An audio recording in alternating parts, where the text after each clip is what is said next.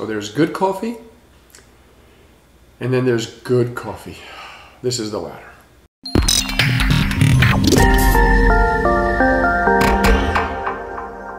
Hello everyone, welcome back. My name is Juan Londoño and today's video is a Photo Philosophy Friday topic. As we do many times with our Photo Philosophy Fridays, we discuss a quote and then we compare it to something, whether it's photography or life. So today we're going to take a quote um, from Ansel Adams. So again, as I usually tell you, if you don't know who Ansel Adams is, make sure you do a little research, read about him, check out his photography, beautiful black and white landscapes. The quote says something like this There is nothing worse than a sharp image of a fuzzy concept. Since I've been forgetting to ask everybody to take a water break because I get so excited with the videos, I, I just go, go, go. Uh, and even if I do take a sip, I forget to mention it. Uh, coffee, tea, whatever you're doing today, go grab your beverage. It's good for you. And I'll meet you right back. We're going to start by comparing this quote to photography. This is a photography channel. And then we're going to see how it applies to life. I like to be fair to anybody who's here for photography. So if you are here just for photography, once that part of the video is done, you can tune out and we'll catch you in the next video. But to be honest with you, I think personally that the comparison of this quote to life is a little more powerful than it is to photography. And it's going to affect everybody, not just people interested in photography. So if you're curious, please stick around till the end. If you are going to leave us in the middle, Remember to like, subscribe, comment, and share the video. So I have two ideas, and this is four. Two ideas. I do that a lot. I have to, I guess I like talking with my hands, so I have to use both. I have two ideas of what this concept might look like for a photographer. We imagine a beautiful image or images of a place we've been dying to see. So what do we do? What anybody does. You take the trip. But we didn't look at traffic before we took off to see what that was like. If it's local or, you know, relatively local. We certainly forgot to check the weather in that region, especially if you're traveling to another state or country.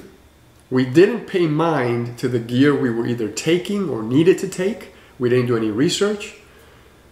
Or simply, we were busy uh, scrambling like we many times are the last minute and we forgot to pack something. And like I recently did in Las Vegas when I was going to the Hoover Dam, I didn't even check if there was an hour of operation. I assumed the Hoover Dam is open, it's working the whole time, and we got there like five minutes before they closed. Closed. So what does it mean that the Hoover Dam closes? The gift shop closed and all the tours stopped. So I took some okay pictures, but it would have been so much nicer if we had done that tour in general, I've done all of these. I've done all of them. I've, I've been shooting long, long enough that I've done all of them. So let's talk about these and what it means to us. Not only will we start our journey with a sharp idea of a fuzzy plan, but even worse, we'll end up with sharp images of something we really didn't care for because either it was the wrong gear or the wrong climate or uh, the wrong season, just lack of planning. So to end point number one, right, this image we envision and we take this trip and it, it doesn't work out for us, um, the best thing I can say is make sure that your enthusiasm matches your planning, right? just as enthusiastic as we get to take these trips, sometimes we don't plan enough. Make sure that whatever enthusiasm you're feeling to go to the Galapagos Islands or to Santorini Island or to Paris or to New York, make sure that enthusiasm is matched equally by your planning. The second point where this might apply, or case where this might apply, right, this sharp image of a fuzzy uh, concept, is where we come up with a creative concept. It might be right here in our living room, in our basement, in our home, whatever, even in a closet, right? We come up with this creative concept involving possibly smoke or water or fruits and vegetables, something really cool. We envision the end product, right? What it's gonna look like, and we run out to the store, we buy everything, we kind of leave everything on the table, we spend time with our family that day or you have other things to do, we get ready for the evening so we can set everything up and start working. But again, we never really sat down and planned carefully.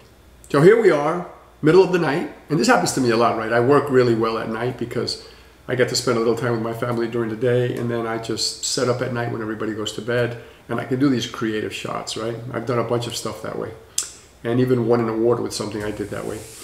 So you're ready to go, you're setting everything up, and you're gonna do incense smoke photography, and you have your incense. But wait a minute, I don't have a lighter. I don't smoke, and I don't have a lighter. I have no matches. And it just happens to be one o'clock in the morning. Oops. Or you happen to be working with fruit, and you have a glass table, and you place the fruit down, and by the time you adjust everything and the lights, and your fruit starts drying up, and you can see that because it's a close up shot, right? Or you're doing, you know, uh, slices of fruit and you're playing around with your banana and your avocado. So you're playing around with, you're playing around with your banana. That didn't come out right.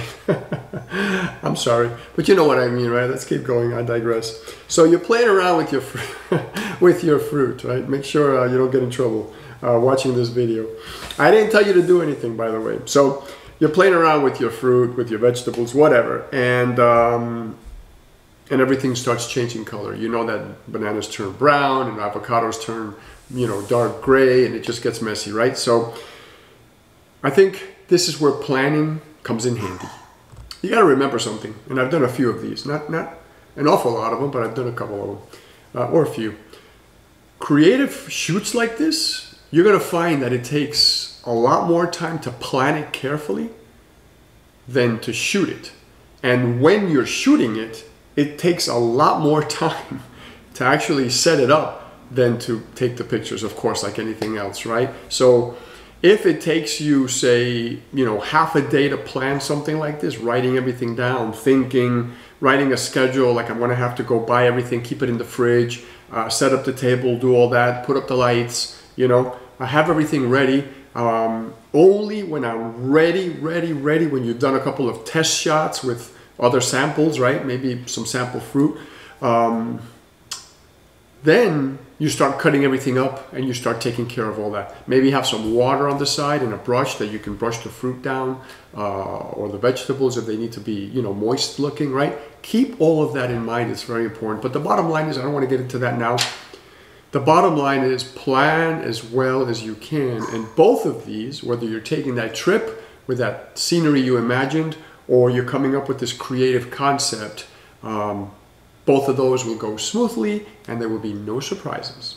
Now, in honor of Photo Philosophy Friday, this is where it really gets cool. How does this quote apply to life? How many times have we said, I'm going to be wealthy? Or I'm going to buy that exotic car one day. I'm going to have that. Or I'm going to live in that beautiful house one day. And then what do we do? Right? We keep working. We keep coming home tired. We keep plopping in front of the you know TV on the couch, uh, eating our dinner while we're watching the news. That's the worst thing we can do, right? And and then we're burned out by the time the evening comes. We have no energy for anything else, right? So there's got to be a plan when we make these bold, because these are bold statements. Or how about this one? I'm miserable at my job, but things are going to change. Basically, what we're doing is we're waiting for things to get better, or we're waiting for somebody to do it for us. And I don't know if that's part entitlement or part just lack of planning, right? Lack of vision. If you read enough about millionaires and billionaires like I do, these people don't wait for anybody or anything, right? They come up with a plan and they hit the floor running, right? They don't pause for anybody. Um, and they hit it really hard as early on as they can. They make all their mistakes and then they launch. Many of us have the best intentions in the world for us, for our family, for our loved ones, for anybody, even that we want to help. But at the end of the day, intentions without planning are just dreams. That's what they are. You've probably heard the quote when we fail to plan, we plan to fail.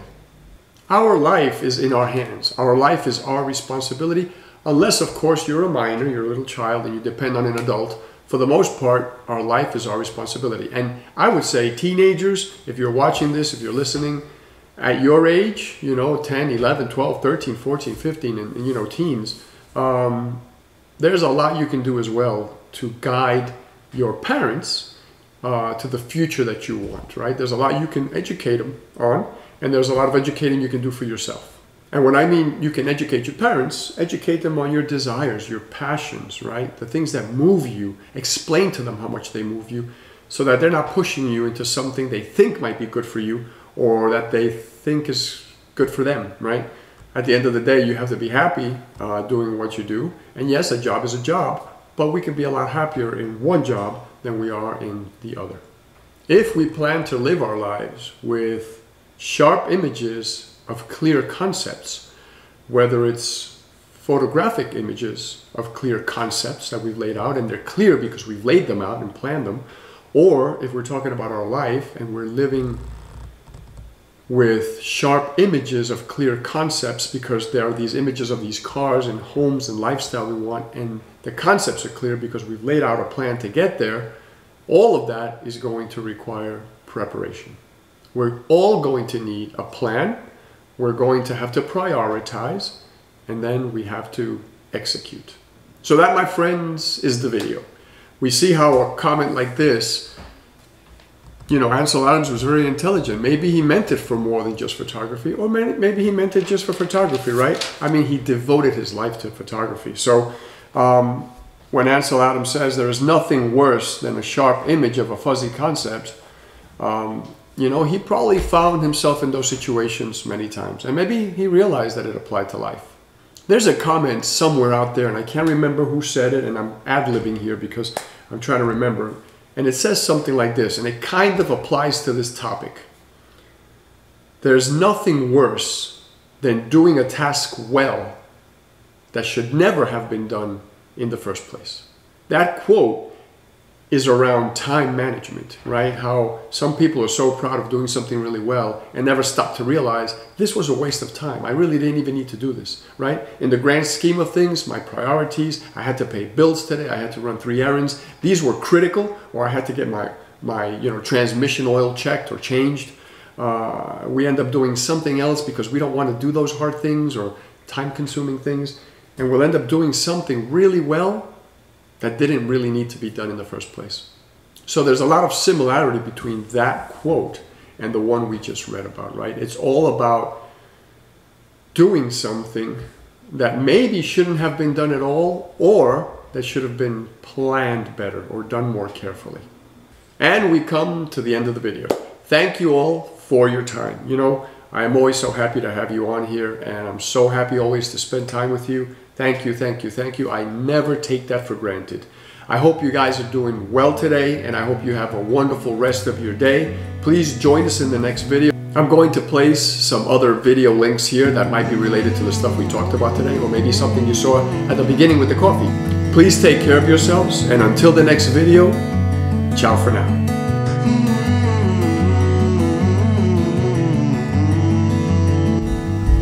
Okay, it's not so crooked now. That would have been terrible. Crooked video. It would have been something like, Hello, my name is Juan. Hi.